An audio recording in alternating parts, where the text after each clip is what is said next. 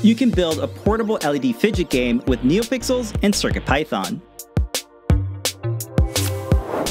This project uses an ANO rotary encoder to move an LED along a 24 NeoPixel ring. As you scroll the encoder wheel, the LED moves around the ring.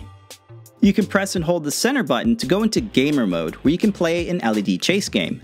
We think it's a fun way to fidget with NeoPixel LEDs and an iPod Classic like scroll wheel. All of the electronics are housed in a snap-fit 3D printed enclosure.